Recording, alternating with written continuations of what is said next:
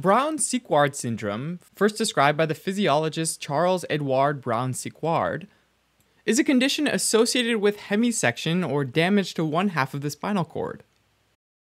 The hemisection damages neural tracts in the spinal cord that carries information to and from the brain. This results in the loss of sensations like pain, temperature, touch, as well as paralysis or loss of muscle function in some parts of the body. Now, if you look at the cross section of the spinal cord, the white matter is on the outside and the gray matter is on the inside. And overall, it looks kind of like a butterfly. If we draw a horizontal line through the spinal cord, the front half is the anterior or ventral half, and the back half is the posterior or dorsal half. And the butterfly wings are sometimes referred to as horns. So we have two dorsal horns that contain cell bodies of sensory neurons and two ventral horns that contain cell bodies of motor neurons. The white matter consists of myelinated axons, which are separated into tracts that carry information to and from the brain. Think of them like highways for neural signals, where some highways carry sensory information to the brain and some carry motor information from the brain to the muscles. There are a few main tracts to remember.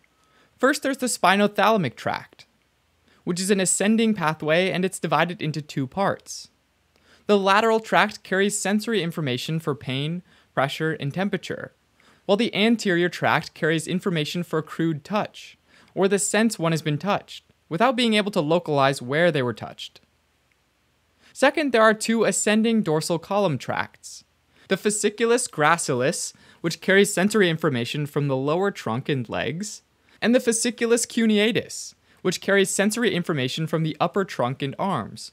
These tracts both carry sensations like pressure, vibration, fine touch, which is where you can localize where you were touched, and proprioception, which is an awareness of your body position in space.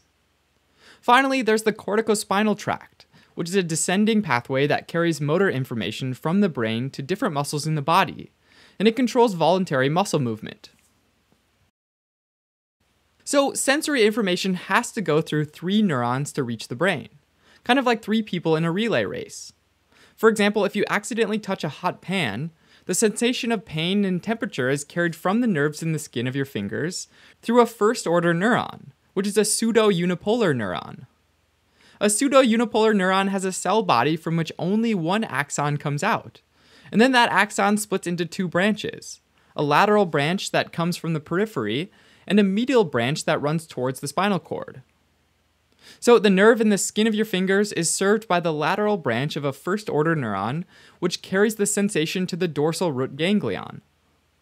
That's where the cell body is located, along with the rest of the cell bodies of the pseudo unipolar neurons. From there, the signal continues through the medial branch and into the spinal cord to reach the dorsal horn. Here it passes off the sensory information baton, by synapsing with a second order neuron, which sends off its own axon, which ascends one or two spinal segments and crosses over to the opposite side to travel up the spinal cord, and eventually synapse with a third order neuron located in the ventral posterior nucleus of the thalamus. This third order neuron then sends its axon up to the sensory cortex of the brain, letting you know that there's tissue damage.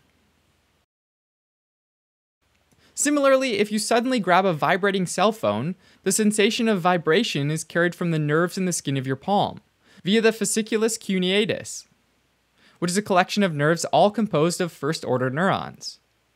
The fasciculus cuneatus is contained within the dorsal white column, located posteriorly in the white matter of the spinal cord. The first order neuron then ascends up along the same side of the whole length of the spinal cord to reach the lower level of the medulla oblongata, where it synapses with the cell body of a second order neuron in the nucleus cuneatus. The second order neuron then sends off an axon that crosses over to the opposite side of the medulla and travels up to the ventral posterior nucleus of the thalamus to synapse with a third order neuron. The third order neuron then sends up an axon that carries the sensory signals to the primary somatosensory cortex of the brain, letting you know that your phone is vibrating. Once your brain receives sensory information, it sends a motor signal down the upper motor neurons through the corticospinal tract in the midbrain and crosses to the opposite side at the medulla, before continuing down the spinal cord. There, they synapse with lower motor neurons in the ventral horn, and the lower motor neuron axons then leave the spinal cord to innervate the muscles of your arm and forearm, which allows you to lift your fingers and hand from the hot pan, or pick up your cell phone. Hopefully, this all happened quickly, so you haven't sustained major tissue damage and that caller hasn't hung up. In Brown Sequard syndrome, a vertebral bone fracture or any kind of penetrating trauma, like a gunshot injury or stab wound in the back, can lead to the hemisection of the spinal cord. And this mostly happens in the neck or cervical region. Besides trauma, non traumatic conditions like a spinal cord tumor might compress the spinal cord and lead to Brown Sequard syndrome. Okay, so suppose a person was stabbed in the neck and had a complete right hemisection of the spinal cord. This means that all the principal neural tracts in the right side of the spinal cord are now damaged. Damage to the right sided corticospinal tract means that, below the level of the lesion, the lower motor neurons, like those going to the legs, are no longer receiving signals from the upper motor neuron. So the muscles they control become paralyzed. And this is called an ipsilateral hemiplegia, or paralysis on the same side. Interestingly, these neurons become so starved for stimulation, they become hypersensitive and start firing inappropriately, causing increased muscle tone and muscle spasms. So we call this spastic paralysis. Meanwhile, at the level of the lesion, the lower motor neuron of the right ventral horn will also be damaged. This means that the muscles innervated by these lower motor neurons, like those in the arms, will not receive any neuro input at all so they go limp and decrease in tone, which is called flaccid paralysis. Similarly, there's damage to the dorsal column on the right side, which will lead to the loss of fine touch, pressure, vibration, and proprioception in the right side of the body at the level of the injury and below it. Now, the spinothalamic tract is a bit different because it crosses over to the opposite side of the spinal cord, one or two spinal segments above, where the first order neurons enter. So, damage to the right spinothalamic tract will cause loss of pain, temperature, and crude touch sensation from the opposite or left side, beginning one or two segments below the lesion. But at the level of the lesion, the spinothalamic tract of the same right side will be damaged too. This will lead to complete loss of all cutaneous sensation at the level of the lesion. Besides those three tracts, very rarely, a hemisection of the spinal cord above the T1 spinal level can also damage the sympathetic chain that runs alongside the spinal cord and supplies the facial region. This leads to Horner syndrome on the same side of the face as the lesion, which includes symptoms of miosis or constricted pupil, ptosis or droopy eyelid, and anhidrosis or failure to sweat. Now, in clinical scenarios, a complete right side or complete left side hemisection is pretty rare. That's why most of the time, individuals with Brown Sequard syndrome will only present with an incomplete hemisection and some sensory or motor problems, depending on which tracts are damaged.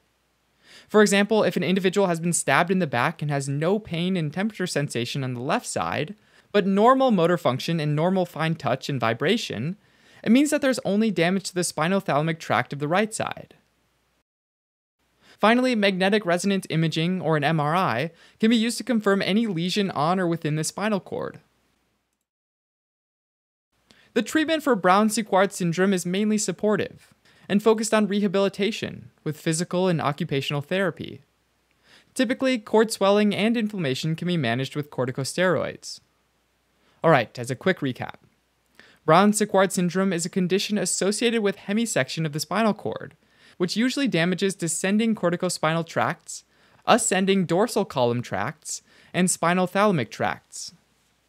The result is paralysis and loss of proprioception on the same side as the injury or lesion, and loss of pain and temperature sensation on the opposite side of the lesion.